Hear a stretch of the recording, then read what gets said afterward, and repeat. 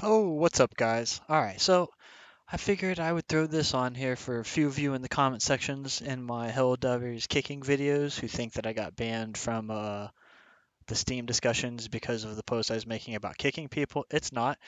It actually, I got banned for this. If you'll read here, uh, I said, yeah, uh, here, my entry is, someone said that uh, what I was doing was villain talk because I said that I was kicking people and that I was trying to destroy the game.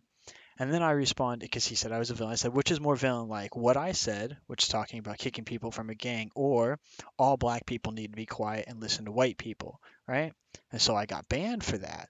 The reason is that it's inflammatory, blah, blah, blah, blah, blah. Well, what's really funny, and this is my response to Steam, is that all I did, this statement right here, is what the community manager for Helldivers 2 said, and all I did was take black and swap it with white.